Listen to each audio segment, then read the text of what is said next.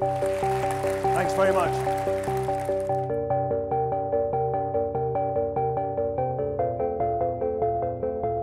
percent and the prospect of a hung parliament is looming. Well, all the polls pointing to a hung parliament. Possibility of another hung parliament. A hung parliament is one when there's no clear outcome to the election. If one party doesn't gain 325 seats or more, it won't have an overall majority, and then we'll have a hung parliament.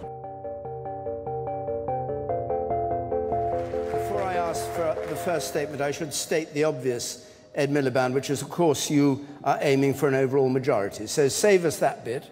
And, uh, oh, go on. And, uh, oh, and, go on. Uh, right now, there are only two men in Britain who have a shot at becoming the next Prime Minister Labour's Ed Miliband from the left, and Conservatives' David Cameron on the right. Both leaders are campaigning for their party to win a majority of seats in the House of Commons so they can run the new government all by themselves. We're going to win outright. That's our aim in this election. But at this point, both parties would need to pull off an electoral miracle to win the majority. It's more likely they'll have to cut a deal. And then there's a sort of coalition of chaos out there that wants more debt spending and taxes. If you can't beat them, join them. Smaller parties can help push big parties past the majority threshold by forming a coalition. This happened in 2010 when the Conservatives teamed up with the Liberal Democrats to form the majority.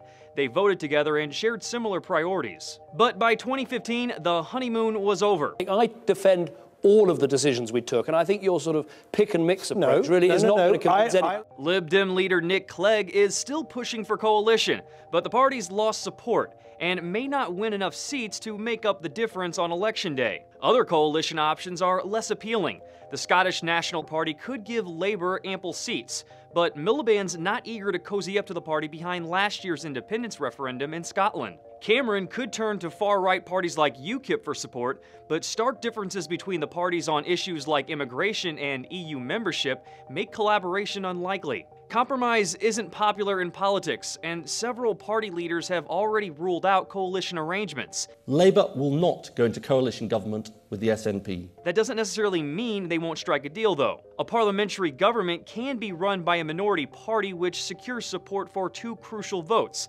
confidence in the government and supply of cash. Minority rule makes it much harder to pass laws. The leading party has to secure support vote by vote but it does come with fewer strings attached than a coalition. Australia and New Zealand have been run by confidence and supply governments in the past, but it's never been in the UK before. One thing is clear. After the votes come in, the UK's next government will be decided by politicians, not voters the makeup of Parliament, its component pieces.